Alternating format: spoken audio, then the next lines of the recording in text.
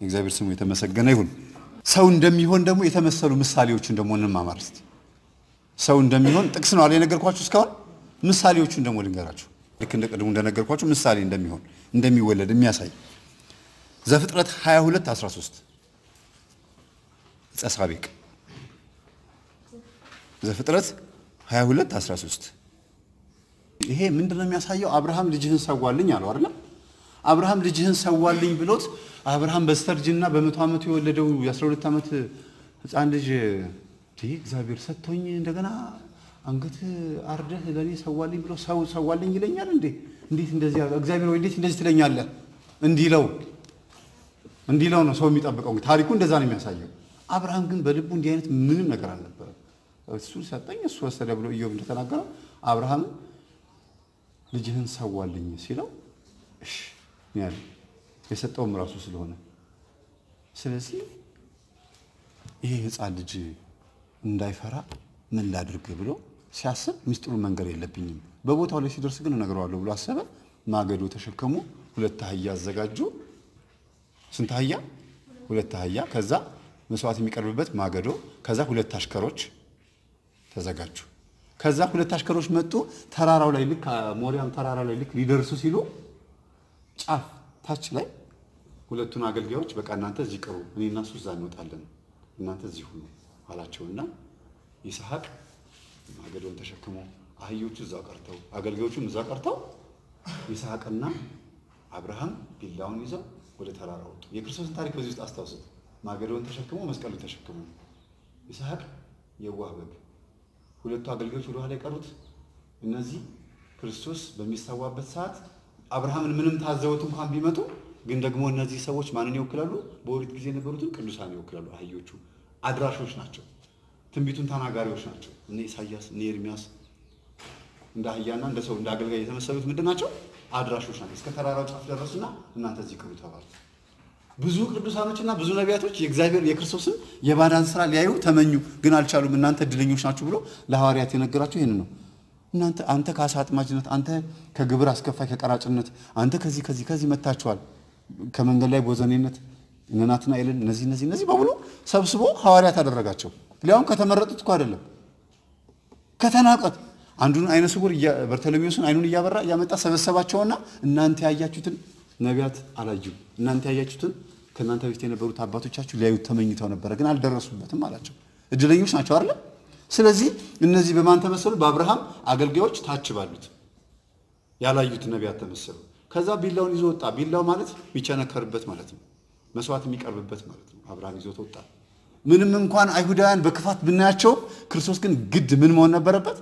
መሰቀል ነበረበት። ስለዚህ አብርሃም በእነሱ ይመስል ከዛ ሄደ መስዋዕት ሊያቀርብ ሲል መስዋዕት ሊያቀርብ ሲል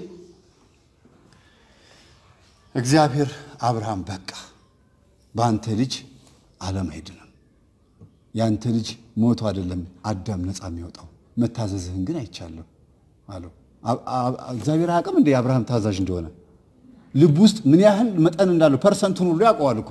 ታዲያ ምንድን ነው ይሄ ሁሉ ተአምር ተራራ እስኪወጣ ድረስ አይቶ በቃ አሁን አውቅ ያለው መታዘዝህን ያለው ለምንድን ነው? ሁሉን አዋቂ ከሆነ አብርሃም ራሱ አያውቅም ነበር ይሄን ያክል ታዛዥ መሆኑ። ገብቷችኋል? አብርሃም ራሱ ምን አይልም ነበረ? አያውቅም ነበረ። በተቃራኒው ደግሞ ክርስቶስ በነበረበት ዘመን ሐዋርያት ክርስቶስን እንደሚወዱት የሚወድ የሚለውን መስቀል የተሸክሞ ይከተለኛል። ክርስቶስን እስከ መስቀል የተሸከመው የተከተለው ማን ነው?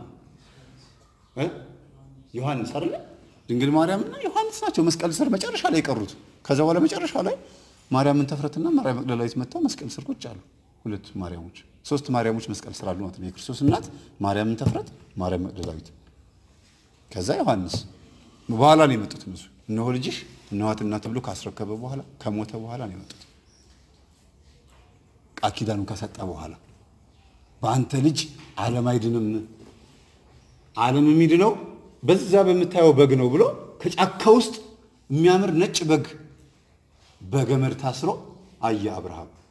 ይስሐቅ ታዛዥነቱን አየ። ለዚያውም ይስሐቅ በጣም ገርና ታዛዥ መሆኑን የሚያሳየው መጽሐፍ ቅዱስ ሲናገር እጁን ወደኋላ አስሮ ተኝቶ ሊሰዋው ሲል አባቴ እንትን አይን አይንን እያየህ ለእግዚአብሔር የምታቀርበው መስዋዕት እንዳታስቀርና እንዳትሰስት በጀርባ የድፋኝና ሰዋኛል።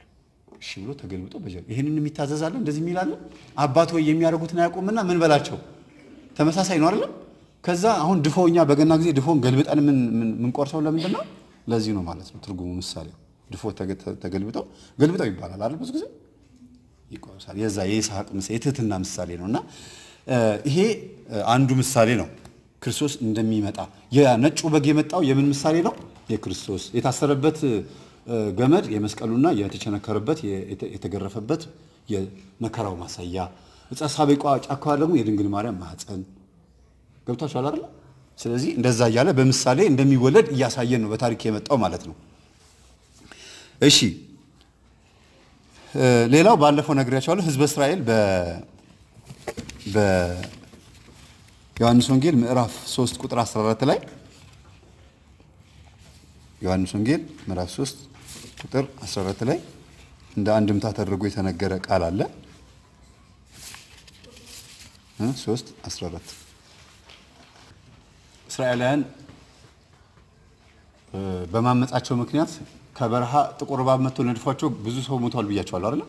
የዛን ጊዜ ብዙ ሰው ሞቶ የቀሩት የተረፉት ተርፈዋል። እና እግዚአብሔር ሆይ ይህን ሁሉ ህዝብ ጨፈጨፍክ ምን ነው ሲል ጊዜ ህዝቡ የግብፅ ሽንኩርት ይሻለኛል ብሎ የግብፅን ጣዖት በሙሉ ተመኝቷልና በአምላክነት የመጥተዋልና ቀንቻለሁ አለ። ጎልማሳ በሚስቱ አምላክም በመንግስቱ ከመጡበት ይቀናል። ስለዚህ ልክ እንደዚሁ እግዚአብሔር ቀንቻለሁ አለ። አይ ግን ደግሞ ይቅር ብያለሁ የፍቅር አምላክ ስለሆነ ይቅር ብያለሁ። ይህ ህዝብ መዳን አለበት። ስለዚህ ልመናህን ለቅሶህን ሰምቻለሁ አለ። የሙሴን ልመና ሰምቶ የነቢያትን ለቅሶ ማለት ነው እንግዲህ እግዚአብሔር ሰምቶ ክርስቶስ እንደሰጠ ሙሴን የሙሴን ለቅሶ ሰምቶ ምን አደረገ? እባብ በነሐስ ስራ በነሐስ እባብ ስራና ከዛ በተራራ ላይ ስቀለው። ሁሉም ያንን እባብ ቀና ብለው ሲመለከቱ መርዙ ከውስጣቸው ይጠፋላቸዋል አሉ። ቀና ብለን በማየት ነው ምንድን ነው አሁን ኢየሱስ ጌታ ነው ኢየሱስ ጌታ ነው በሚል ብቻ የሚዳን ይመስላቸዋል ብዬ የማነጻጸርላችሁ ለመሰላችሁ የሚታይ ነገር አይደለም ይላሉ ብዙ ሰዎች። ስዕል እንደዚህ ስንስል ምን ስንል ይሄ ጣዖት ነው ይላሉ። መስቀል መሳለም ራሱ ጣዖት ነው ማለት ጀመሩ። አሁን መሳለም ራሱ መስቀል መሳለም ራሱ እንደ ጣዖት ነው የሚቆጠረው እንጨት ነው ይላሉ። ግን በምን ጠርቆ ነው ከመንገድ አስወገደው ቢለው በመስቀል ጠርቆ ከምን አስወገደው? ከመንገድ አስወገደው። በመስቀል መስቀል አጋንንትን ምን ማድረጊያ ነው? ማሰሪያ ነው። ስለዚህ መስቀል የሚታይ ነው አይደለም። ቆይ ክርስቶስ በጓዳ ነው የተሰቀለው? በአደባባይ ለምንድን ነው በአደባባይ የተሰቀለው? እንዲታይ ነው አይደለም። ስለዚህ በማየትም ይዳናል ማለት ነው። ስለዚህ ይሄ ክርስቶስን ይወክለዋል ብለን ያዘጋጀ ነው። ግን ሃይማኖትን መሰረት ያደረገ ሚስጥራትን መሰረት ያደረገ ስዕል ከሆነ ወይም ደግሞ መስቀል ከሆነ ያድናል አያድንም? ያድናል። የቅዱስ ጳውሎስ ጨርቅ፣ የቅዱስ ጴጥሮስ ጥላ አድኗል አላዳንም? አድኗል እኮ ገነት የሚያስገባ ማዳን ባይሆንም ግን ተአምራት ሰርቷል። ጳውሎስ እንደዚህ ብሎ የሰምቱ ጥላ በሽተኞች ላይ ሳል ይፈወሱ ነበር ይነሱ ነበር ይላል። ጥላው ይሄን እንግዲህ ጳውሎስ ደርድሯቸው ጥላ ሲያርፍባችሁ ትድናላችሁ አላለም እኮ የህዝቡ ምን እምነት የህዝቡ እምነት አዳናቸው። ቅዱስ ጳውሎስ ይሄን አለ። እንደገና ደግሞ ከጭርቁ ላይ ደግሞ እሱ ወደ ቤተ ክርስቲያን ወይም ወደ ምኩራብ ሊጸልይ ዘጠኝ ሰዓት ሲሆን ሲሄድ ከልብሱ ላይ ጨርቅ እየቆረጡ ከኋላ መጎናጸፊያው ተቆርጦ ተቆርጦ ከኋላ ግማሽ ሆኖ ነው ቤተ መቅደስ የሚገባው። ሰው ሁሉ እየመጣ በቢላ እየቆረጠበት ይላል መጽሐፍ ቅዱስ የሐዋርያት ሥራ 13 ላይ እየቆረጡበት እየወሰዱ እየወሰዱ ከዛ በኋላ በሽተኞች ላይ ሲወረውሩት ይድኑ ነበረ። ግን ልብሴን ቅደዱ ብሏል እንደ እሱ አላለም። ስለዚህ እግዚአብሔር ባያዝም የህዝቡ እምነት ግን ምን ያደርገዋል? ያድናል። ስለዚህ ስዕሉን እግዚአብሔር ይህን ስዕል ሳሉ ባይልም ግን ያ እንደ ማለት ነው እንደ ቆመው ግን የተናደፉት እባቦች ያላቸው መርዝና ይሄ እባብ አንድ ነው እንዴ? ይሄኛው እባብ ምን የለው መርዝ የለውም። የተናደፉት እባቦች ደግሞ መርዝ አላቸው። ስለዚህ ክርስቶስ ምንም እንኳን የአዳምን ስጋ ቢለብስም ኃጢአት የሚስማማውን መርዝ ያለበትን ስጋ ለሚለበሰው ንጹሕ የሆነው እንደ ነሐሱ እባብ ማለት ነው። ግልጽ ነው አይደል? ነገራችሁ ልክ እንደዛ ሆኖ ያን ምሳሌ አድርጎ ያንን የነሐስ እባብ ሲመለከቱ ይድናሉ አለ። በእባብ ራሱን መሰለ፣ በሰው ራሱን መሰለ እንደማለት ነው። ለዚህ ነው እባብን በመጥፎ አትመልከቱት እምላችሁ። ክርስቶስም የተመሰለበት ምሳሌ ስለሆነ ነው። እሺ ታመው ደግሞ ድንኳን ውስጥ የተቀመጡትስ በድንኳን ውስጥ ወይም ርቀው ያሉትስ ወደዚህ ተራራ መውጣት የማይችሉ ሽማግሌዎችስ እንዴት ይዳኑ ብሎ ጠየቀ። ደግሞ ድጋሚ እነሱ ደግሞ እንዲድኑ የነሐሱን እባብ በያዝከው በትር ምታው አሉ። እባቡ ሲመታ ነሐሱ ሲጮህ ግው ብሎ ልክ እንደ ደውል ሲጮህ ድምፁን የሰሙት ዳኑ። ያ ማለት የክርስቶስን የማዳኑን ድምፅ እኔ የመጣሁት ለሰላም ነው፣ ለፍቅር ነው፣ እኔ ላድናችሁ ነው የመጣሁት፣ እኔ ከሰማይ የወረድኩ እንጀራ ነኝ ብሎ ክርስቶስ የተናገረውን ዛሬ ወንጌሉን ስንሰማ ምን እንላለን? እንድናለን? አንድንም። የዛ ምሳሌ ነው ማለት ነው። የዛ ምሳሌ ነው። አስቡት። እባቡን በመምታት ነው ምንድን ነው የሰው ልጅ ወዶ አይደለም ማለት ነው ክርስቶስን የሰቀለው ማለት ነው። ምን እንዲሆን ነው? የግድ መድኃኒት እንዲሆን ነው። ሰዎች ንቀውት ከጨረሱ በኋላ የሚከብር ስለሆነ የመጨረሻው የሰው ልጅ ፍጻሜው ምንድን ነው? መቃብር ውስጥ በአፈር መሸፈን ነው አይደል? እሱን ድል አድርጎ ተነስቶ አልተነሳም። ማ መለኮት ነው? መለኮት ብቻውን አይደለም። መለኮት የተዋህደው ምን ስጋ ወይም ደግሞ ስጋ ብቻ አይደለም የተነሳው መለኮት የተዋህደው መለኮት ብቻውን መቃብር አልገባም። አሁን ለምሳሌ የጋለ ብረት ይሁ ብረት ይግላል። ከዛ ቢላ እንዲሆን ወይም መዶሻ እንዲሆን ወይም የሆነ ቅርጽ እንደዚህ የሆነ ነገር ለመስራት ይቀጠቅጠዋል አይደል? አናት ሲቀጠቅጠው እሳቱን ነው ወይስ ብረቱን ነው እየመታ ያለው? እሳቱ ምኑ ላይ ነው ያለው? ብረቱ ምኑ ላይ ነው ያለው? ብረቱ በምን ተከቧል? አሁን እሳት ባይኖረው ብረቱ ብቻውን ይጣመማል? አይጣምም። ስለዚህ ቅርጽ የሚይዘው በምንድን ነው? እሳት ስላለ ነው፣ ፍም ስለሆነ ነው። ወዲያው እንደወጣ በዛ በዚህ በመዶሻ ያጣድፉታል። ከዛ ምን ይሆናል? ቅርጽ ይዛል። መብሳትም ከፈለጉ እንደዛው ነው የሚበሱት። ስለዚህ መለኮት ከብረት ከስጋ ጋር ተዋህዶ በመስቀል ሲሰቀል ሲቸነከር ምን ሲል ስጋ ብቻ ነው የተቸነከረው እንዴ? ስጋ ብቻ ነው የተሰቀለው ወይም የተተፋበት? አብሮ መለኮትም ተተፍቶበታል፣ በኩርኩም ተመቷል። ስለዚህ የባህሪ ልጁ ነው የምንለው ለዚህ ነው። የባህሪ ልጁ ነው፣ የጸጋ ልጁ ፍጡር አይደለም ማለት ነው። ፈጣሪ የሆነ መለኮት የሆነ ምንም የማይመረመር አምላክ በዛ ስጋ ውስጥ ስለተዋሃደ ፍጡር ለማለት ነው የሚቀናው ወይስ ፈጣሪ ለማለት ነው የሚቀናው? የቱ ይቀናል? የቱ ይሻላል? ከበዳችሁ እንዴ? ከበዳችሁ? አረ ተናገሩ። ከበዳችሁ? ግልጽ ንገሩኝ። ይከብዳል? ትምህርቱ ይከብዳል? እሺ፣ ሁለተኛ ምሳሌ ይሄ ነው።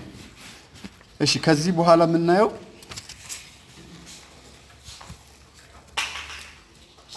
ለምን ሰው ሆነ የሚለውን ነው።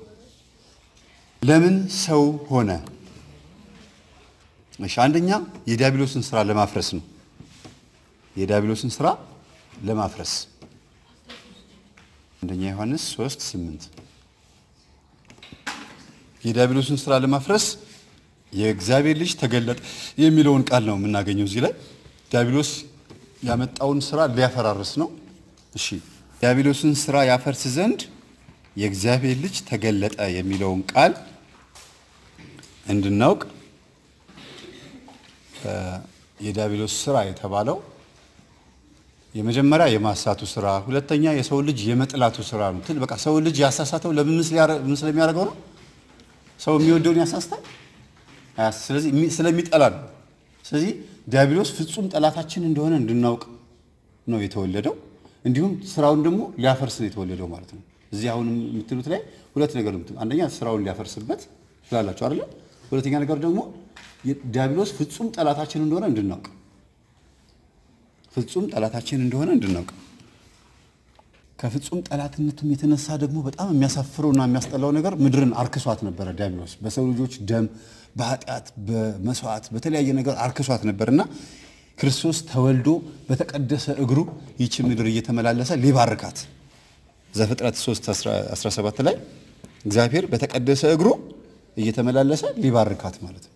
3 17 ዘፍጥረት 3 17 ስለዚህ ለምንድን ነው የተወለደው? ሁለተኛ ላይ በተቀደሰ እግሩ ምን ሊላት ምድርን ሊባርካት። ሶስተኛ ሶስተኛ አንደኛ ዮሐንስ ምዕራፍ 1 ቁጥር 9 ላይ አንደኛ ዮሐንስ ምዕራፍ 1 ቁጥር 9 የውርስ ኃጢአትን ሊያስወግድ የውርስ ኃጢአትን ሊያስወግድ ወይም በቅንፍ ዓመተ ምሕረትን ሊያመጣ በቅንፍ ውስጥ ዓመተ ምሕረትን ሊያመጣ የውርስ ኃጢአትን ሊያስወግድ ትሉና በቅንፍ ውስጥ ዓመተ ምሕረትን ሊያመጣ። እነዚህ ናቸው ምልክቶቹ። ለምን ሰው ሆነ ለሚለው ትልቁ ነገር ቅድም ፍቅሩን ሊገልጽ አይደለም እያልን እንደዘረዘር ነው። በጥቅስ እንደዚህ እያልን እንሄዳለን። እሺ አሁን ወደ ትልቁ ትምህርት ልንገባ ነው። ይኸው እዚሁ ሚስጥረ ስጋዊ ላይ ሚስጥረ ተዋህዶ ብላችሁ ጻፉ። ሚስጥረ ተዋህዶ ሚስጥረ ተዋህዶ በሚስጥረ ተዋህዶ ላይ ደስ የሚል ትምህርት እናገኛለን። አሁን ነው እንግዲህ በጥቅስ በደንብ የምናየው። እሺ ልክ እንደ ሚስጥረ ስላሴ መጨረሻ ላይ ጥቅስ አለ የሰጠኋችሁ። አሁን እዚህ ጋር ብዙ ጥቅስ ልሰጣችሁ ነው። እያ- እያንዳንዱን ጥቅስ እያብራራን ነው የምንሄደው። ምናልባት ከረፍት በኋላ ስንመለስ ጊዜ ካለን በክርስቶስ አስተምህሮ ላይ መናፍቃን የሚያነሷቸውን ጥያቄዎች እያነሳን መልስ እንመልሳለን። ጊዜ ካለን፣ ጊዜ ከሌለን ግን ነገ ሙሉ ፕሮግራም የሚሆነው በክርስቶስ አስተምህሮ ላይ ከኦርቶዶክስ እምነት ውጭ ያሉት ክርስቶስን ማን ይሉታል፣ ለምንስ ይሄን አሉት፣ ስህተት ነው ወይስ እውነት ነው የሚለውን ነገር እንመረምራለን አይደል? ነገ ማለት ነው። ነገ ሙሉን ፔሪድ እሱን እንያዘው። ዛሬ ይህን የራሳችንን ጨርስ፣ የኦርቶዶክስን ትምህርት ብቻ እንጨርስ። ተዋህዶ ተዋህዶ ማለት ምን ማለት ነው? ሚስጥረ ተዋህዶ ማለት ምን ማለት ነው? ጻፉ። ተዋህዶ ማለት ምን ማለት ነው? ከዛ ሰረዝ ታደርጉና ሁለት የተለያዩ ነገሮች አንድ የሚሆኑበት ሚስጥር በርቱ። ሁለት የተለያዩ ነገሮች አንድ የሚሆኑበት ፈጠንኩ እንዴ? በራሳችሁ አገላለጥ ጻፉት ስላልኩኝ ነው በጣም ፈጥነው። አጠር አድርጋችሁ ራሳችሁ እንደሚገባችሁ ጻፉት። እሺ ለማንኛውም ሳረሰው ስወጣ እንዳረሰው ፈተና የሚመጣው ከስነ ፍጥረት ላይ ነው። እሺ ፈተና የማመጣው ሚስጥረ ስላሴ ምናምን አልገ- አልገባም። ለፈተናው ሐምሌ ሀያ ምናምን ፈተና አላችሁ። ፈተና የሚመጣው ከሚስጥረ ስላሴ በፊት ያለው ትምህርት ሃይማኖት ምንድን ነው፣ ስነ ፍጥረት፣ ሀልዎተ እግዚአብሔር፣ እግዚአብሔር ማን ነው፣ ባህሪው የሚላል አይደለም። እነሱ እነሱን ነው። እሱን ዝም ብላችሁ አየት አየት አድርጉት። 15 ጥያቄ ነው። ሁለት ሁለት mark አለው። ከሰላሳ ነው የሚያዘው ማለት ነው። እሺ እንዳረሳው ብዬ ነው በኋላ ስወጣ እነዚህን በሚቀጥሉት እንትን ላይ assignment ላይ ወይም ደግሞ እንትን ላይ ሰጣችኋለሁ። በሚቀጥለው ፈተና ላይ ነው የሚስጥረ ስላሴን መሰጣችሁ። ለምን ገና እየተማራችሁት ስለሆነ ገና ሳትጨርሱት ፈተና ላይ አይቀርብም ማለት ተዋህዶ ማለት ሁለት የተለያዩ ነገሮች አንድ የሚሆኑበት ማለት ነው። ምን ማለት ነው? ባህሪና አካልም ይባላል። ስጋ ባህሪም አለው አካልም አለው። የስጋ አካል ምንድን ነው? የሚታይ ይሄኛው የምታዩት ነው የስጋ አካል። እንደገና ባህሪው ምንድን ነው? መብላት፣ መጠጣት፣ መታመም፣ መሞት፣ መተኛት። እነዚህ አምስት ባህሪዎቹ ናቸው። ጻፉት። የስጋ ባህሪ የስጋ ባህሪ መብላት፣ መጠጣት፣ መተኛት፣ መሞት፣ መድከም፣ መታመም። መድከም፣ መታመም የስጋ ባህሪ ነው ይሄ።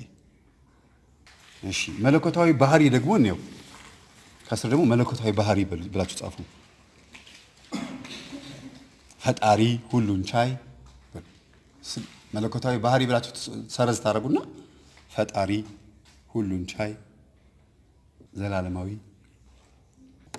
ዘላለማዊ የማይወሰን የማይወሰን የማይወሰን የማይሻር ከዛ በቅንፍ ውስጥ ታደርጉና የስጋ ባህሪ ተቃራኒ ይበሉት። በቅንፍ ውስጥ ያ ማለት አይታመምም፣ አይሞትም፣ አይደክምም እንደማለት ማለት ተቃራኒ ስትሉ ይደክማል ካላችሁ ስጋ ያ ደግሞ አይደክምም ማለት ነው። በቅንፍ ውስጥ የስጋ ባህሪ ተቃራኒ። እሺ ከዛ ደግሞ ይሄ ባህሪው ነው አይደለ? እንደገና ደግሞ ስጋዊ አካል ደግሞ የሚለውን ነው። ስጋዊ አካል እንዴት ነው? ስጋዊ አካሉ ስጋዊ አካል ግዙፍ የሚታይ ስጋዊ አካል በሉና ሰረዝ አድርጋችሁ ግዙፍ የሚታይ ግዙፍ የሚታይ የሚጨበጥ የሚዳሰስ ግዙፍ የሚታይ የሚጨበጥ የሚዳሰስ መለኮታዊ አካል ደግሞ አስገኚ የሌለው መለኮታዊ አካል አስገኚ የሌለው በቅንፍ ታደርጉና የስጋዊ አካል ተቃራኒ ይበሉት። የስጋዊ አካል ተቃራኒ ያ ማለት የማይጨበጥ የማይዳሰስ ምናምን ማለት ነው። እንግዲህ በምትረዱት አረዳድ ማለት ነው። እነዚህ ሁለቱ ተዋህደው ነው ተዋህዶ የተባለው። እነዚህ ሁለቱ ተዋህዱ ልክ ቅድም እንዳልኳችሁ የጋለ ብረት ስጋም ከመለኮት ጋር መዋሃዱን ያሳያል። ምሳሌ ነው። ብረቱና እሳቱ ተቀላቅለው አብረው እንደተመቱት ሁሉ ልክ እንደዛ ክርስቶስም አሁን ካቶሊኮች ምን መሰላቸው የሚሉት የተሰቀለውና የተገረፈው ከማርያም የተወለደው የማርያም ልጅ ነው። ያረገው ደግሞ ሙት እንድል አድርጎ ያደረገው ደግሞ የአብ ልጅ ነው ብሎ ለሁለት የሚከፍሉት ሁለት አይነት ባህሪ ማለት ነው። ካቶሊክና እኛ ትልቁ ልዩነታችን እዚህ ላይ ነው። አይታችሁ እኮ የመድኃኒዓለም ስዕል ራሱ ሁለት ጣት እንደዚህ ያለበት የእነሱ ነው። ሁለት ባህሪ ማለት ነው። ከስጋዊ ባህሪና ከመለኮታዊ ባህሪ ስጋዊ ባህሪና መለኮታዊ ባህሪ ወረሰ እንጂ አልተዋሃደም ነው የሚሉት። እንዴት ይቀላቀላል? በእግዚአብሔር ስራ ውስጥ ገብተዋል ማለት ነው። ግን መጽሐፍ ቅዱስ እኔና አብ አንድ ነን ካለ ያ እየተናገረ ያለው ስጋን የለበሰው ኢየሱስ አይደለም እንዴ እየተናገረ ነው። እኔና አብ አንድ ነን ካለ ስጋም አብሮ ምን እየሆነ ነው? ከአብ ጋር አንድ እየሆነ ነው ማለት ተዋህደዋል ማለት ነው አይደል? ስለዚህ የእኛ ትክክለኛ የመድኃኒዓለም ስዕል እጁ እንደዚህ ያደረገው ነው ማለት ነው። ስዕል በስዕል እንኳን ተዋህዶ እንዴት እንደምታስተምር ተዋህዶ ሕፃን ሆኖ ከድንግል ማርያም ጋር ታቅፎ እያለ ስዕሉን አይታችሁት ከሆነ ጣቱን እንደዚህ አድርጓል። ያ ማለት የድንግል ማርያምን የቅድስናና ድንግልና በስጋም በነፍስም ንጽሕት መሆኗን እየመሰከረ ነው። ስዕሉ የእሷ ስለሆነ እሷ አቅፋው ያለው ስዕል የእሷ ነው። ለምን በሰውነት በፊዚካልም ወይም በግዝፈትም የእሷ ነው የሚበልጠው። እሱ ሕፃን ሆኖ ያለው የስዕሉ ባለቤት የስዕሉ ዋናው ባለቤትነቱ የእሷ ነው።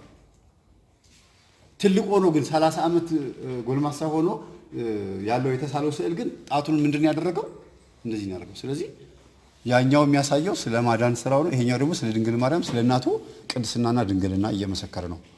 እንዳትሳሳቱ እሺ። ሁለት ጣቱን ያው አርጓል አይደለም ወይ እንዳትሉ፣ ያ ህፃን እያለ ያለው ለዛ ነው ማለት ነው። ስለዚህ የተሰቀለው የተሸነከረው የሞተው የድንግል ማርያም ልጅ ነው። ያረገው ደግሞ የአብ ልጅ ነው ብለው ለሁለት ከፍለው ነው ካቶሊኮች የሚያዩት። ሁለት ባህሪ ይሉታል ማለት ነው። እኛ የምንለው ግን ምን ይላል? ተዋህዶ አንድ ሆኗል፣ ተዋህዷል ነው የምንለው። በዚህ አስተምህሮ ውስጥ ካቶሊኮች እንደዚህ እንዳሉት ሁሉ ጆቫዎች ደግሞ ምን ብለውታል? ጭራሽ አውርደውት መልእክተኛ መልአክ ነው ነው ሚካኤል ነው ነው የሚሉት። በመጨረሻው ዘመን ስለ ሰው ልጆች የሚቆመው ተብሎ ትንቢተ ዳንኤል ምዕራፍ 12 ላይ የተጠቀሰውን ጥቅስ ይዘው የተወለደው መልአክ ነው ሚካኤል ነው ብሎ ነው የሚያስቡት። በሚካኤል ስም የተጠቀሰው በኦሪት ጊዜ ሕዝቡን መልአክ ሆኖ ሲያገለግል የነበረው አሁን ከማርያም የተወለደው ያው እሱ ነው። ስለዚህ ሚካኤል ነው ነው የሚሉት ጭራሽ አውርደውት ማለት ነው። የበለጠ ሙስሊሞች ደግሞ ከዚህ ያወርዱትና ከነቢዩ መሐመድ በታች ምንድን ነው ይሉታል? ነቢይ ግን መሲህ ነው ደግሞ ኢሳ አልመሲህ ብለው በቁርአናቸው ላይ ሲጽፉት እነሱ ከነቢዩ መሐመድ በታች ነው የሚጽፉት። ግን እዛ ውስጥ ያለው ቃላት በሙሉ እንዳለ የሚጠቅሰው የሚገርማቸው አይደለም። የእኛ መጽሐፍ ቅዱስ የሙስሊሞቹ ቁርአን ላይ እንኳን እኔና አብ አንድ ነን የሚላለ ቁርአናቸው ላይ እንዲያውም አታንብቡ የሚባሉት እኮ ለዚህ ነው። እነሱ አታንብቡ ይሏቸዋል። ዝም ብላችሁ ሄዳችሁ ስገዱ፣ መስጊድ አትመራመሩ፣ ብዙ እንድትመራመሩ አልፈቀድም ይላሉ። ለምን እንዲህ አይነት ነገር እንዳይገኝ ነው። እዛ ጋር ድንግል ማርያም እኛ ጋር በበረት ውስጥ ወለደች ይላሉ፣ እነሱ ጋር ደግሞ በዘንባባ ዛፍ ስር ወለደች ይላሉ። መርየም የሚሏት እነሱ እኛ ማርያም ክርስቶስን የወለደች ነች ብለን በሁለት እንዳናየው ታሪኩን አዘበራርቀውታል። ታሪኩ ግን ከመጽሐፍ ቅዱስ የተወሰደና የተዘበራረቀ ነው። በመሃሉ አንድ ሺህ ዓመት ልዩነት ያለውን ታሪክ አምጥተው ያገጣጥሙታል። የሎጥን ታሪክ ከአስቴርና መርዶኪዎስ ታሪክ ጋር በመሃላቸው እኮ በጣም ብዙ ዓመት ልዩነት አለ። ሁለቱን ግን እንደ አንድ ታሪክ አድርገው በቁርአናቸው ላይ ጽፈውታል። ያው እንድታነቡ አይደለም ነገራችሁ፣ ግን ያነበብኩትን ልንገራችሁ። ዙሁሩፍ የቁርአን ላይ ዙሁሩፍ 64 ላይ በመጨረሻው ዘመን መጥቶ የሚፈርደው ክርስቶስ እንደሆነ ይናገራል። በእነሱ ቁርአን ላይ ማለት ነው። ከዛ ይፈርዳል ይሉና በነቢይነት ነቢዩ መሐመድ ይበልጠዋል። ግን ደግሞ በዓለም መጨረሻ ላይ የሚፈርደው ደግሞ ማን ነው ይላሉ? ኢሳ አልመሲህ ወይም ኢየሱስ ክርስቶስ እኛ የምንለው ማለት ነው። እንዳይቀር እንግዲህ ይሄንን የተጻፈው ለምስክርነት እንዲሆንባቸው ነው። በፍርድ ጊዜ ክርስቶስ እኔ እንደምፈርድ በእናንተ ቁርአን ላይ እንኳ ተጽፏል እኮ ለምን አላመናችሁትም ሊላቸው ነው። ይሄ ነገር ያልቀረው ግልጽ ነው አይደል? ሊላቸው ስለፈለገ። ስለዚህ እንደገና እንደገና ደግሞ ይላሉ ራሱ ክርስቶስ ፍርዱን ከጨረሰ በኋላ ደግሞ እሱ ላይ ይፈረድበታል ደግሞ ይላሉ። በስምህ ብዙ ሃይማኖት ስለተመሰረተ በአንተ ስም ብዙ ሃይማኖት ስለመጣ ትጠየቃለህ ተብሎ ይጠየቃል እሱ ራሱ ደግሞ ይላሉ። በዛ ላይ አንቱ ነው የሚሉት። እኛ ልክ አቡዬን አባታችን አንቱ እንደምንለው ክርስቶስን አንቱ ነው የሚሉት። እሳቸው እያሉ ነው የሚያወሩት ክርስቶስ እና ኢየሱስ በእነሱ ቁርአን ላይ አልተሰቀለም። በእሱ ፈንታ የተሰቀለው ይሁዳ ነው ነው የሚሉት። ታሪካቸው እንደዚህ ነው። የተዘበራረቀ የተዘበራረቀ ክርስቶስን አውርደውታል ታች። ከዛ ወደ ቡዲዝም እምነት ስትሄዱ ደግሞ ሌላ ነው ታሪኩ። እንደገና አውርደውት አውርደውት አውርደውት የሆነ በሆነ ዘመን የመጣ ግለሰብ ነው የሆነ እንደነ ሶቅራጥስ እንደነ ዲዮጋንስ እንደዚህ የሆነ ፈላስፋ ነው። በዚህ ዘመን ሊነሳ አይገባውም። በዘመኑ የሆነ ስራ ሰርቷል። ከዚህ በኋላ የእሱ ዘመን አይደለም። ምንድን ነው የምትሉት ይላሉ። ፈላስፎቹም እንደዛ ነው የሚሉት። በዓለም ላይ ክርስቲያኖች በጣም ጥቂት ናቸው። ትንቢቱ ይፈጸም ዘንድ ግድ ስለሆነ ማለት ነው። አብዛኛውን አህዛብ ይበዛል። ስለዚህ ተዋህዶ የምትለዋን ቃል በደንብ አክብረዋት በስርዓቱ እየፈጸሟት ያሉት የኢትዮጵያ ኦርቶዶክስ ተዋህዶ ቤተክርስቲያን ከአምስቱ Oriental Church ጋር ከአምስቱ Oriental Church ጋር አሁን ኤርትራ አምስተኛ ሆና ስድስተኛ ሆና ስለገባች ማለት ነው። አምስት ነበሩ፣ አሁን ኤርትራ ስድስተኛ ሆነች አይደል? ስለዚህ ኢትዮጵያና አምስቱ ነው የምንለው። ኢትዮጵያ የምትለየው በምንድን ነው? ታቦት በታቦት ላይ ነው ስጋው ደግሞ የምታዘጋጀው ተዋህዶነትን የምታሳየው። ሌሎቹ ታቦት የላቸውም። በሌላ ዓለም ላይ ምን የለም? ታቦት የለም። ስጋው ደግሞ የምታዘጋጀው ቤተክርስቲያናችን በምን ላይ ነው? ታቦት ላይ ነው። በታቦቱ ላይ የተዘጋጀውን ስጋና ደግሞ የምንቀበለው መለኮት እሳት ነው። ሊያውም ስጋው ደግሞ መለኮቱ ህብስቱ ስጋው ወይኑ ደሙ ሆኖ በሁለት ሰዓት ቅዳሴ እንዲቀየር ጻውኑ ሰው ክርስቲያን ተብሎ መለኮት መምጣቱን መውረዱን የሚያሳይ ጥቅስ እየተጠቀሰ እየተነገረ እየተነበበ በስንት ቅዳሴ ተቀድሶ ስጋው ደሙን ተቀብለን ወደ ቤታችን የምንሄደው ከታቦቱ ላይ ነው ስንል ሌሎቹ Oriental Church ኦች ስጋው ደሙ እነሱ ጋር አይሰራም ማለት አይደለም። እኔ እነሱ ቀሊል ነው ወይም ደግሞ እንደው ክርስቶስ አላደረበትም አይደለም። Oriental ኦች ላይ የክርስቶስ ስጋና ደም ልክ እንደዚሁ በራሳቸው ጠረጴዛ ላይ ነው የሚያቀርቡት። ግን የእኛ ፍጹም ተዋህዶነትን የሚሰብክ እምነት እንዳለን ማሳያ ነው። ፍጹም ምንነትን ተዋህዶነትን የሚሰብክ ታቦት ድንግል ማርያም ናት፣ ጽላት ክርስቶስ ነው። ስጋና መለኮት ተዋህደዋል። አሁንም ወይኑና ህብስቱ የሚፈተተው የሚዘጋጀው በታቦቱ ላይ ነው። ከዛ በኋላ ለህዝቡ ይሰጠዋል። ሰውም በስጋው ይቀበለዋል፣ በነፍሱ በህይወቱ ህይወት ይዘራል ማለት ነው። ስለዚህ ተዋህዶ የሚለው ቃል የሚያሳየው ፍጹም የማይገናኙ ሁለት ባህሪዎች ተገናኙ ማለት ነው። ስጋዊ አካል የማይጨበጥ የሚጨበጥ የሚዳሰስ የሚታይ ነው። መለኮታዊ አካል ደግሞ የዚህ ተቃራኒ ነው። ሁለቱ አንድ ሆኑ ማለት ነው። አሁን በአብ ቀኝ የተቀመጠው ስጋ ማንን ተዋህዶ ነው? መለኮትን ተዋህዶ ነው። መለኮት በባህሪው አይከፈልም። በባህሪው መለኮት አይከፈልም። ስለዚህ ወደ ድንግል ማርያም ቅዱስ ገብርኤል አብስሮ ይኩነኒ በከመ ትቤለኒ ብላ ልክ ስትቀበል ስጋ ማነው ቃል መቶ ሲያድርባት መላእክቶች ደግሞ በሰማይ ሲመለከቱት ፍጹም በዙፋኑ ላይ ነው ያለው። እንደገና በድንግል ማርያም ማህፀን ውስጥ ደግሞ ቃል ደግሞ አድሯል። ይህንን አድንቀው በሉቃስ ወንጌል ምዕራፍ 1 ቁጥር 39 ላይ ያለውን መዝሙር ዘመሩ። ስብሐት ለእግዚአብሔር በሰማያት ወሰላም በምድር ስምረቱ ለሰብ። በሰማያት ምስጋና ይሁን በምድርም ይሁን። እንዴት ያለ ድንቅ ነገር ነው! በጣም የሚገርም ነገር ነው ማለት ነው። በሰማይም አለ በዙፋኑ ላይ፣ በምድርም ደግሞ ከድንግል ማርያም ማህፀን ውስጥ አለ። በባህሪው የማይከፈል ግን ደግሞ ስጋን ሊያከብረው የወደደ መሆኑን ማሳያ ነው። እስቲ ወደ ዛሬው ወደ ጥቅስ ማብራራቱ እንሂድ። አሁን ጥቅስ ተዋህዶ ትሉና ከስር ተዋህዶነትን ተዋህዶነትን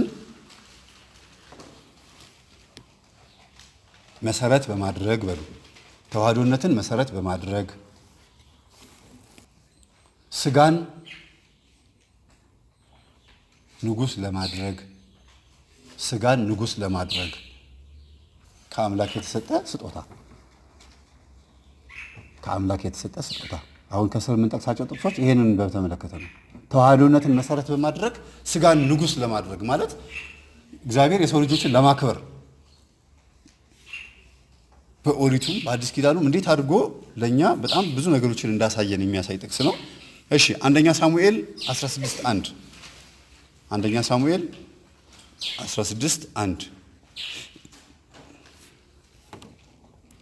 እግዚአብሔር ሳሙኤልን በእስራኤል ላይ እንትኑን ተዉት፣ እሺ ቃሉን ተዉት፣ እቤት ትጽፉታላችሁ። አሁን ጥቅስ ጥቅስ ብቻ ትጽፉና እቤት ታረቁታላችሁ ማለት ነው። እግዚአብሔር ሳሙኤልን በእስራኤል ላይ እንዳይነግስ ለናቀው ለሳኦል የምታለቅስለት እስከ መቼ ነው አለው። ሳኦል አታድርግ የተባለውን በማድረጉ አታምጣ የተባለውን የአሕዛብን በጎችና ፍየሎች ለመስዋዕት ይሆናሉ ብሎ በማምጣቱ እግዚአብሔር ተቀይሞት ነበረ፣ እንዲሁም ንቆት ነበረ። እግዚአብሔር ንቆሃል። እግዚአብሔር ከናቀው ማን ያከብረዋል? ማንም አያከብረው አይደል? ስለዚህ ስለ እሱ ያለቅስ ነበር ሳሙኤል። በእስራኤል ላይ እባክህን አንድ ያለው ንጉሥ እሱ ነው አትቀየመው ሲል ለምንድን ነው ስለ እሱ እስከ መቼ ነው የምታለቅሰው? አሁን አንድ ነገር ላዝህ ነው አለው። ቀንድህንም ዘይቱን ሞልተህ ሂድ በልጆቹ መካከል ንጉሥ አዘጋጅቻለሁና ወደ እሴይ ቤት ወደ ቤተልሔም እልክሃለሁ አለው። ወደ እሴይ ቤት ወደ ማን? ወደ ልጆቹ ወደ እሴይ ቤት ወደ ቤተልሔም። እመቤታችን ክርስቶስን የወለደችው የት ነው? ቤተልሔም አይደለ? በቤተልሔም የተወለደው ንጉሥ ነው እያለን ነው። አሁን ስጋን እያነገሰው ነው። እንግዲህ እዚህ ጋር አታልቅስ በሳኦል ፈንታ በአዳም በተሰናከለው በአዳም ፈንታ አትብላ የተባለውን ዕፀ በለስ በልቶ አዳም እንደተሰናከለው አታምጣ የተባለውን በጎች ደግሞ በጦር ሜዳ ማርኮ ሳኦል አምጥቶ ተሰናክሎ ነበረ። ስለዚህ እግዚአብሔር ንቆታል። ልክ አዳምን እንደናቀው ሳኦል እንደናቀው ልክ እንደዚህ ለምን ታዝናለህ ብሎ ነቢዩ ሳሙኤል ነቢያትን ወክሎ ማለት ነው። ነቢያትን ከኔ ጋር ናቸው አይደል? ግን አዎ፣ ትንሽ እንቅልፍ ትነሱ። እስቲ ተነሱ፣ ተንጠራሩ፣ ተነሱ። ግድ የላችሁም ተነሱ። ትንሽ ድካማ ያለው ፊታችሁ ላይ ተንጠራሩ ትንሽ አዎ ይሄ ስጋ እኮ ደካማ ነው እንዴ! ይፈትናል። ተኛ ካላችሁ ትልም ነው የሚለው።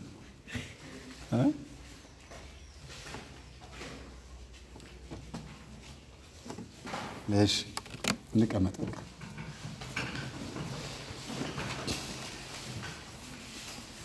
እስከ መቼ ነው የምታለቅሰው? እስከ መቼ ድረስ ነው የምታለቅሰው በሳኦል? አረ ንጉሥ አለኝ እኔ እሴ የሚባል የዋህ ከሱ የእሴይ ሚስት ኢትዮጵያዊት ነች ይባላል። ዳዊት የተወለደው ከኢትዮጵያዊት ሚስቱ ወልዶት ነው ወልዶት ነው እና ሰለሞንም ዳዊትም ሰለሞንም የተወለደው ዳዊት ከኢትዮጵያዊት ሴት ነው የወለደው ይባላል። እንደገናም ደግሞ ዳዊት ራሱ የተወለደው ደግሞ ከእሴይ ከኢትዮጵያዊት ሚስቱ ነው ይባላል። ያው አፈ ታሪክ ነው፣ እንዲሁም ደግሞ ትውፊት ነው። በአንድምታ ትርጓሚዎች ላይ ነው ያለው እና ዳዊት የ12 ዓመት ጎልማሳ እያለ በገና እየደረደረ በጎችን እየጠበቀ ነበረ። ሂድ ወደ እሱ ንጉሥ አድርጌ የሚሾመው ያዘጋጀሁት ሰው አለ አለ። ክርስቶስን እኮ ሲነግረን ነው በውስጥ በኩል ለጊዜው ስለ ዳዊት ነው የሚያወራው። ፍጻሜው ግን ስለማን ነው? ስለ ክርስቶስ ነው የሚያወራው። ያዘጋጀሁት አለ ይመጣል። የዋህ ልበ አምላክ የተባለ ዳዊት ልበ አምላክ ነው የተባለው ፍጹም የእግዚአብሔርን ቃል ስለሚሰማ። ክርስቶስ ደግሞ እንዴትስ ልበ አምላክ ደግሞ አይበልጥም? ራሱ ደግሞ ምን ልበ አምላክ ሳይሆን ራሱ አምላክ ነው። ዳዊት ፍጡር ስለሆነ ልበ አምላክ ተባለ። ክርስቶስ ደግሞ ራሱ አምላክ ነው። ስለዚህ በገና እየደረደረ እያለ ትፈለጋለህ ተብሎ ተጠራ። ዳዊት እየመጣ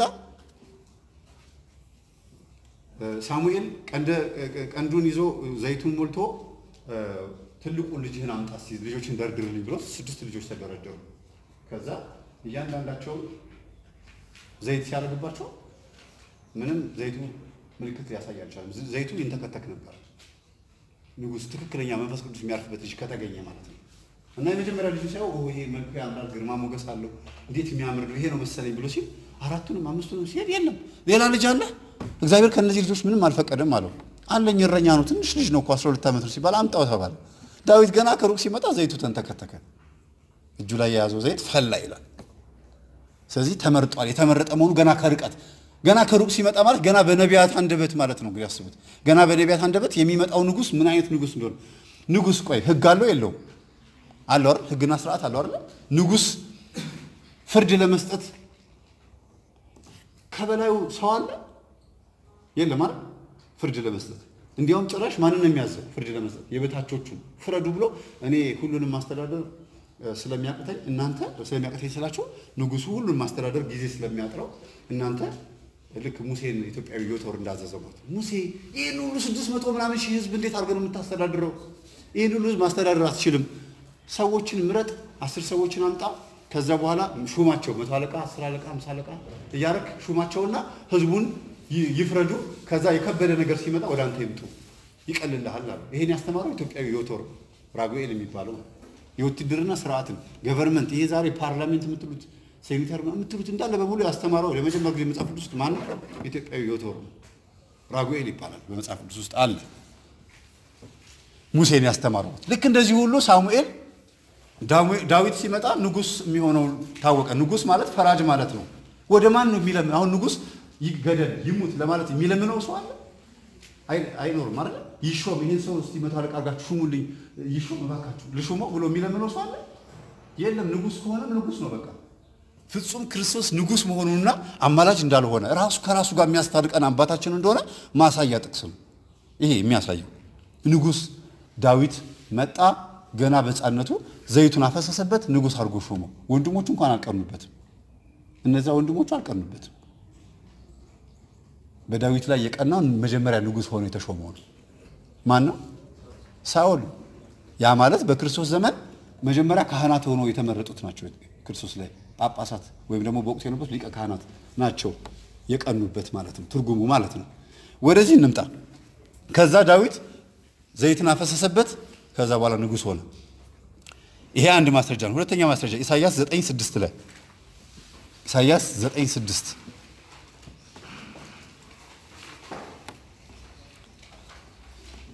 ሕፃን ተወልዶልናል፣ ወንድ ልጅም ተሰጥቶናል፣ አለቅነትም በጫንቃው ላይ ይሆናል።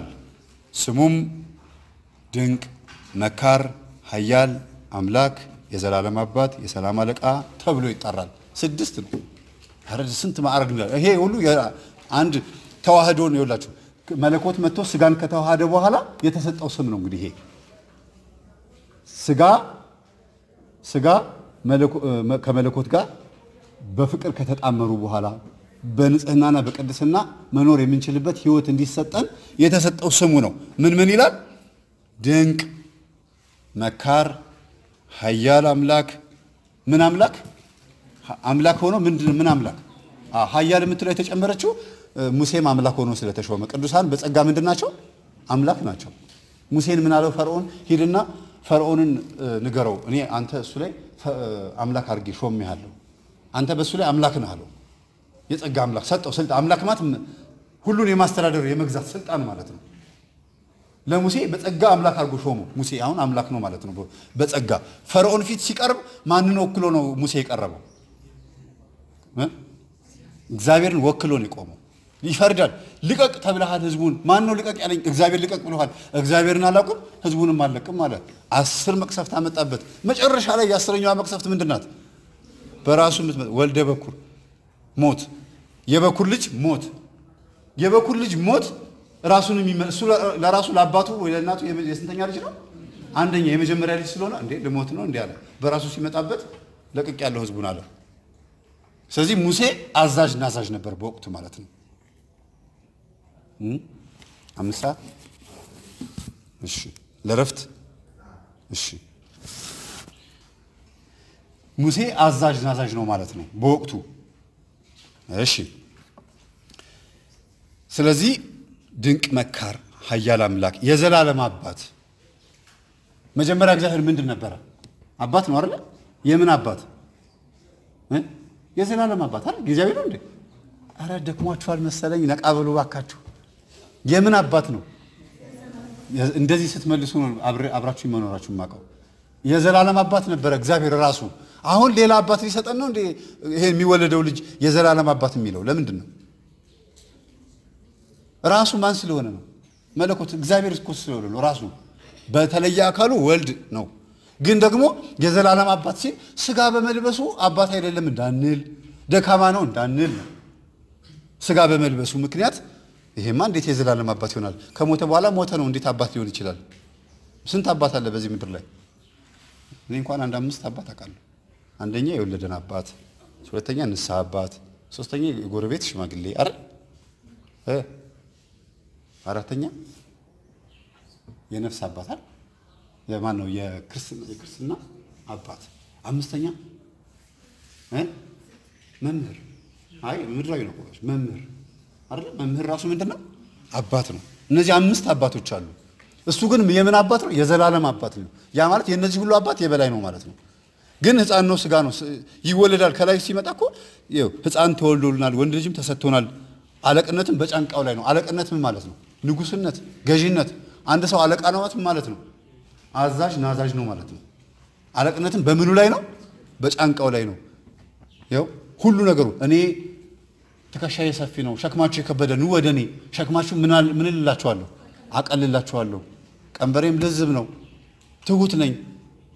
ስለ ራሱ በደንብ አድርጎ የመሰከረ አምላክ ነው። ሰው ስለ ራሱ ይመሰክራል። ግን ክርስቶስ ስለ ራሱ የመሰከረው ምን ስለተዋሃደ ነው? አይደለም። ስጋ አሁን ክርስቶስ ስጋ ሆኖ ነው የሚናገረው አይደለ? ከእሱ ጋር ምን አለ ነው? መለኮት ስለዚህ ስጋ እንደከበረ እያየን ነው። በመለኮት ንግግር ውስጥ መለኮት ማንን አንደበት አድርጎ እየተናገረ ነው? ስጋን ስጋና መለኮት ተዋህዶ በተለየ አካሉ ቃል እየተናገረ ነው ማለት ነው፣ ስጋን እንዳከበረው። እሺ ሶስተኛ ሶስተኛ ትንቢተ ዳንኤል 7 14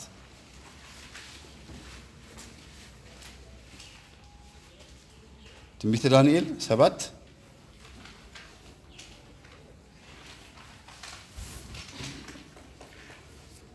14 እንግዲህ እስካሁን የምናየው ስጋን ምን ያህል እንዳከበረውና እንዴት ንጉሥ እንዳደረገን ወይም ራሱ ክርስቶስ ንጉሥ እንደሆነና ፍጹም አምላክ እንደሆነ አስታረቀም፣ ጮኸም፣ ይቅር በላቸው ብሎ ለመነም ቢባል ከማን ጋር ሊያስታርቅ ነው? ከራሱ ጋር። ስለዚህ ሌላ የሚለምነው ፍጡር አምላክ እሱ ፍጡር እንዳልሆነ ወደ ማንም ቀና እንደማይል ሲያስታርቅም ከራሱ ጋር እንዳስታረቀ የምናይበት ንጉሥ እንደሆነ የሚያሳዩ ጥቅሶች ነው የምናየው። ወገኖችና አሕዛብ በልዩ ልዩ ቋንቋ የሚናገሩ ሁሉ ይገዙለታል። ወገኖችና ወገኖች ሲል አይሁዳውያንን ነው የእግዚአብሔር ወገኖች የተዋጡ እና ደግሞ ምን ይላል? አሕዛብ አሕዛብ ማለት ያልተጠመቁ ያልተገረዙ የአብርሃም ወገን ያልሆኑ ማለት ነው። ዛሬ እኛ ክርስትና ያልተነሱ ነው የምንላቸው ማለት ነው። ወገኖችና አሕዛብ በልዩ ልዩ ቋንቋ የሚናገሩ ዓለም ማለት ነው። በቃ በአጠቃላይ ይገዙለታል። ግዛትና ክብር መንግስትም ተሰጠው። ግዛትና መንግስት ክብር ተሰጠው። አሁን ስጋ ከመለኮት ጋር በመዋሃዱ ግዛት፣ መንግስት፣ ክብር ተሰጠው። አንድ በስላሴ መንበር በአብ ቀኝ ተቀመጠ። ሁለተኛ ነገር ደግሞ በዚህ ምድር ላይ ከሱ በታች ሁሉን ያሉትን በሙሉ እንዲገዛ ስልጣን ተሰጠው። ማ ሲባል ስጋ መለኮትን የተዋህደው ምን ስጋ ይሄን ያክል ትልቅ ክብር ተሰጥቶታል ማለት ነው። ግዛቱም የማያልፍ የዘላለም ግዛት ነው፣ መንግስቱም የማይጠፋ ነው ይላል። የእኔ መንግስት በዚህ አይደለም። እኔ ሰራዊቶች አሉኝ፣ ብዙ ጭፍሮች አሉኝ፣ እነሱን ባዛቸው ሁላችሁንም ያጠፏቸዋል ብሎ ክርስቶስ ተናግሮ ነበረ በወንጌል ላይ። የእኔ መንግስት በዚህ ምድር አይደለም፣ አንተ እንደምታዛቸው ጭፍሮች አይደሉም፣ የእኔ መንግስት በላይ ነው፣ ለጊዜው ገዢው አንተ ነህ ብሎ እጁን ሰጥቶ ሁሉ ነገር ሰጥቶ ከጨረሰ በኋላ ሰይጣን ጨርሸዋለሁ ካለ በኋላ ጠንቅቆ በቃ አፈር ከደለደለበት ከሶስት ቀን በኋላ ሲነሳ ነው ስጋ ብቻ አለመሆኑን የተረዳው። ስጋ ብቻ ምን አለመሆኑን አለመዋሃዱ፣ ስጋ ብቻ አለመሆኑን ሰው የሆነ አምላክ ወይም አምላክ የሆነ ሰው መሆኑን የተረዳው ማለት ነው። እሺ ሆሴ 13 አራት ላይ ሆሴ ትንቢተ ሆሴ ሆሴ ትንቢተ ሆሴ ትትሉና ነጥብ ሆሴ 13 አራት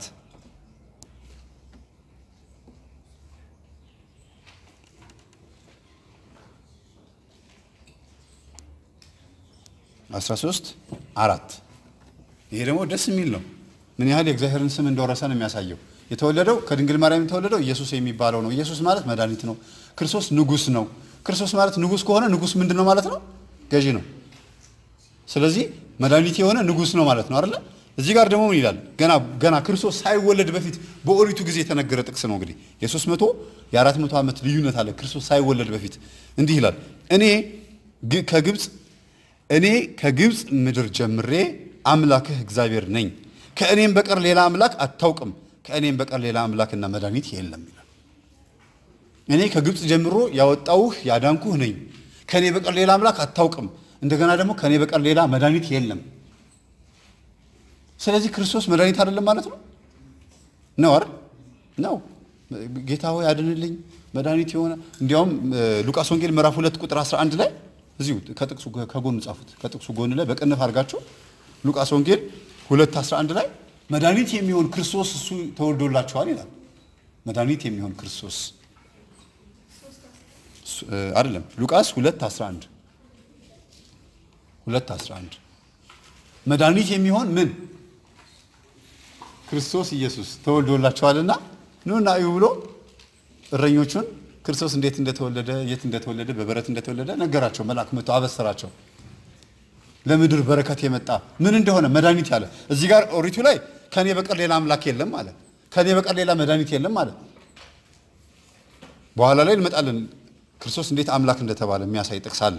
እዚህ ጋር ደግሞ ከኔ በቀር ሌላ አምላክ የለም እያለ የእግዚአብሔርን አምላክ መድኃኒትነት ማን ወሰደ?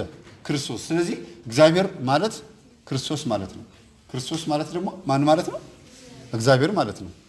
የእግዚአብሔርን ጌታ የሰራዊት ጌታ እግዚአብሔር የሚለውን እዚህ ጋር ጌታ ሆይ ተብሏል። ጌትነቱን ወስዷል። ንጉስነቱን ወስዷል። ከኔ በቀር ንጉስ የለም ሲል እዚህ ጋር ደግሞ ክርስቶስ ምን ተብሏል? ክርስቶስ ተባለ። ኢየሱስ ያው ክርስቶስ የተባለው ኢየሱስ ይለዋል ቅዱስ ጳውሎስ ብዙ ጊዜ ሲናገር።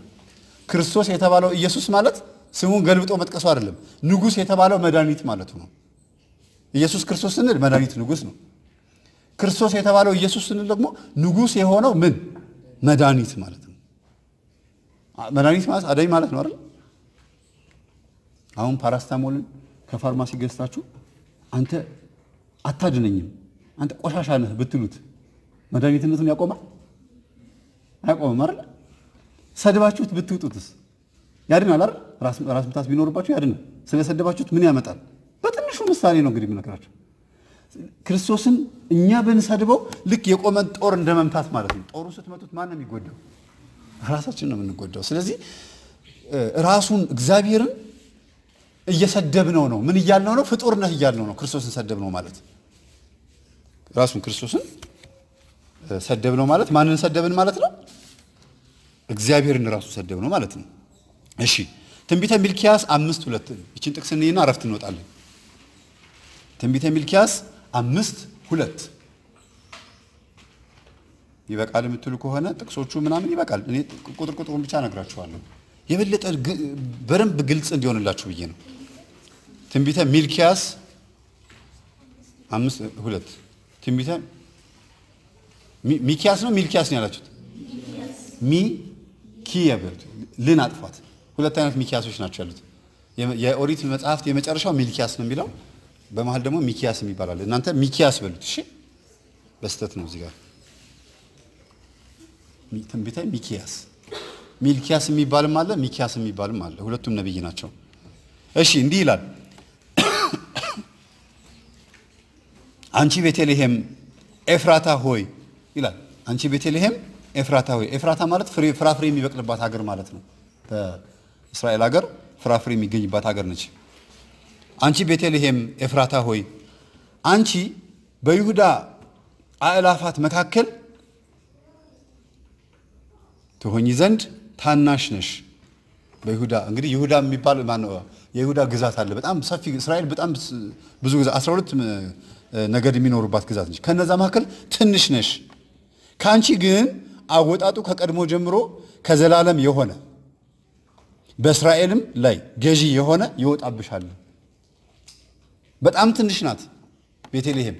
ማርያም የምን ሀገር ሰው ናት? ናዝሬት ነች? ናዝሬት ገሊላ ከምትባል የተገኘች አንድ ሴት ያለ ይላል። ስለዚህ ናዝሬት ማለት ዛሬ እስቲ በኢትዮጵያ ውስጥ በጣም አሮጌ ከተማ ሲጠሩልኝ፣ በጣም የድሮ ያረጀ ጣራቸው ያረጁ ከተሞች ሲጠሩልኝ እንደዛ በቃ አሁን ትዝ ላይላችሁ ይችላል። ልክ እንደዛ አሮጌ ከተማ ናቸው ቤተልሔምም ናዝሬትም በእስራኤል ሀገር ውስጥ። በዛ ላይ ደግሞ ሴቶች በሙሉ እንዳለ ገና በእድሜያቸው 15 ዓመት ሳይሞላ ድንግልናቸውን አስረክበው የጨረሱ በጣም በጣም በቃ ዝሙት የተስፋፋበትና ምስኪን ምስኪን ሴቶች ያሉበት በቃ ክብራቸውን ያስረከቡበት ከነሱ ሴቶች መካከል ተለይታ የተባረከች ድንግል ናት። አሁንም ደግሞ እቺ ቤተልሔም የምትባሏ አገር በኤፍራታ በይሁዳ አውራጃ ካሉት ውስጥ በሙሉ በጣም ትንሽ ተብላ የምትገመትና ምንም ቁም ነገር አይገኝባትም ተብላ የምትታሰብ ሀገር ናት። ከእሷ ግን ይላል አወጣጡ ከጥንት ከመጀመሪያ ጀምሮ ከዘላለም የሆነ ይላል የእስራኤል ንጉሥ ገዢ ይወጣባታል ይላል። እስራኤል ሲባል እስራኤል የምትባሏን ካርታ ላይ ያለችዋን እስራኤል አይደለም። እስራ ማለት ስንት ነው? ሀያ ነው አይደል? በገዛ አይደል? ኤል ደግሞ እግዚአብሔር ነው አይደል? እስራኤል ማለት የሀያው ነገድ ገዢ የሀያው ፍጥረታት ገዢ ማለት ነው። እስራኤል እንግዲህ የዓለም በሙሉ ማለት ነው።